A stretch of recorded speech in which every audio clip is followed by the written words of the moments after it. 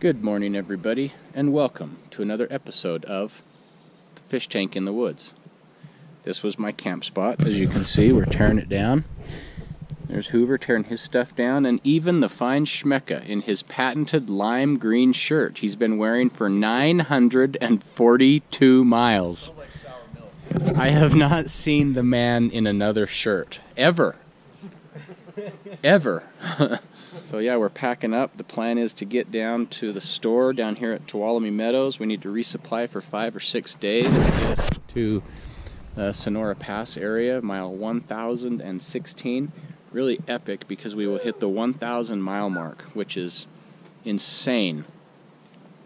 Um, and uh, we're going to have some bacon and eggs down there, I think. And then we're going to hit the trail. But uh, so interesting story. Uh, I didn't tell you guys about. So when we were coming off of Half Dome two days ago, I set my pack down because we were really thirsty and we needed water. We didn't have any, so I set my pack down and we walked down the river. We were gone maybe 20 minutes, is all 30 minutes tops. Came back and a squirrel. They're ravenous creatures. Chewed a hole through my pack. Right there.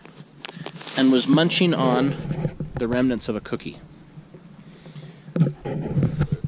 Ravenous little monkeys with tentacles and claws, and they're just, they're horrible. And I'm pretty sure it was rabid. that or it had Lyme disease. What would it be? Um, rabies. Rape the plague. Schmecka said it had the plague Is it rabies? Yeah.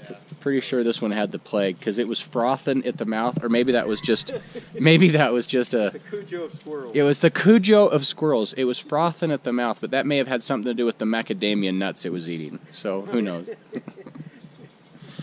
so no, it's going to be a great day. Hope this finds everybody healthy, happy, and well. I know I am. The new slimmer, more slender me. Although my shirt did try to crawl away last night, but I hit it with a trekking pole. Yeah. So you can, you know how you can buy distressed jeans in the store? I'm going to open up a chain of clothing stores called PCT Hiker Memories, and it's basically going to be shirts with big sweat rings. So what I'm going to do is I'm going to take I'm going to take these shirts out to construction sites and ask men to wear them as they work all day, and then just put them on the the the, the hanger at the store. Uh, the store is just going to be a wall tent, and uh, these are you're going to pay a premium for these shirts. Um, uh, something such as this, you know, this shirt was twenty nine dollars. But with these sweat rings, this is a $300 shirt. So I will be taking orders. Uh, get a hold of me. It's going to be 1 800 Stinky Butt, and we'll go from there. See you guys later. hey, everybody. So we're leaving Tuolumne Meadows. Me, the chef, and Fine Schmecka, Hoover, and Magneto are maybe an hour in front of us. They hike faster. Um, we didn't say our goodbyes, but they just hike a lot faster than us.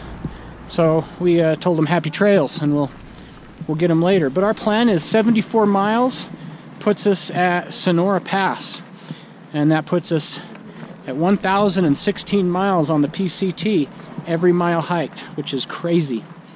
Um, we're looking at uh, maybe getting into South Lake Tahoe here in the next week.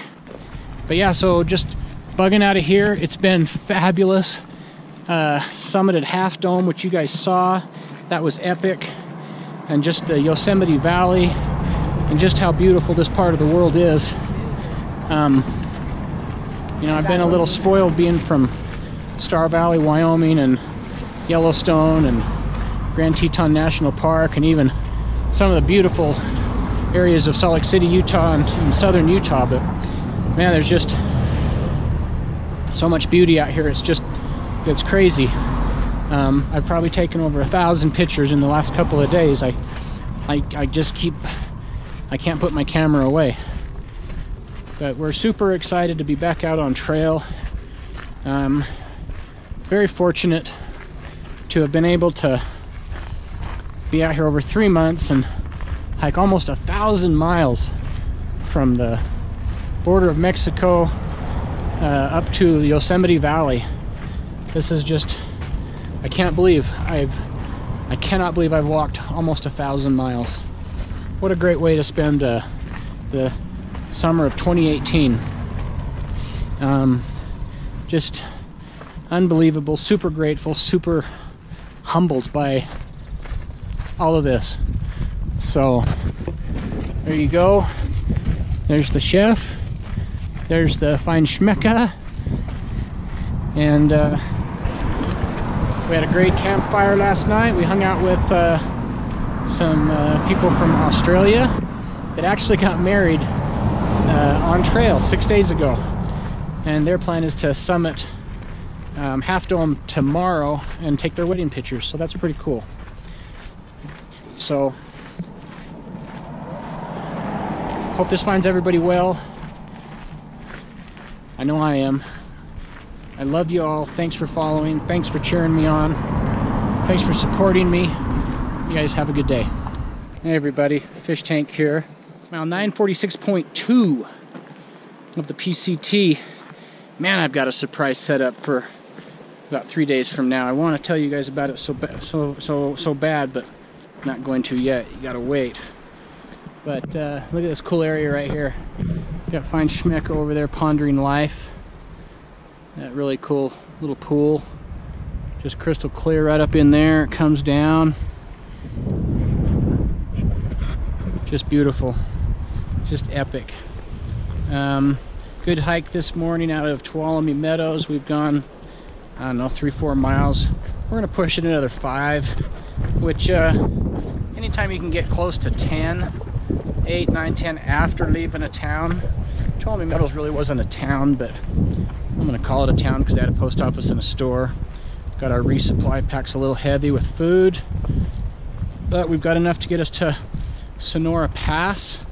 At Sonora Pass, we can ditch these bear canisters. Hate them. Not a big fan of the bear canisters. But from Sonora Pass, we can hitch into uh, our next resupply point, which is going to be Kennedy Meadows North. Kind of weird, there's a Kennedy Meadows South and a Kennedy Meadows North. They're not in the same meadow. They're 300 plus miles apart, trail miles. So, I don't know, kind of weird. But just a little melancholy right now, thinking back of the the past three months. Just been an amazing adventure. Starting out in Campo with a pack that was too heavy and gear I didn't need, over you know 30 pounds overweight. Through the desert, you know, to uh, Lake Morena and Mount Laguna, then into Julian and Paradise Valley, Idyllwild, you know, up around San Jacinto, just all the cities we've come in contact with, Tehachapi, and just, you know, just all these land these these landmarks on the PCT and every mile marker from 100 up to so far 900 a thousand's just 50 miles up the road here up the trail here. Just real uh, real grateful. Super super grateful. Um, I look at what I've set out to do and what I set out to accomplish and uh, I've changed so much and I've sure learned a, an awful lot about myself and I've met such cool people along the way. So, uh, I highly recommend if anybody ever has the inclination to do something like this, that you get out and you try it. It's going to be the same. It's going to be different for. It's not going to be the same for two, any two people. It's going to be different for everyone. Some of the struggles I deal with are are going to be different than struggles somebody else deals with but the joys and the highs, they're unbelievable. So, our plan is to get another 5.3 miles to a pretty cool tent site up on top of this. I won't even call it a pass anymore. It's more like a little little hill. passes are behind us. Um, we'll camp there, and I think that puts us about 951. That puts us within 49 miles of the 1,000 mile mark. And I haven't seen it, but I hear it's big. I'm excited about that. So here we are. And there is a very round boulder out in the middle of a big rock slab.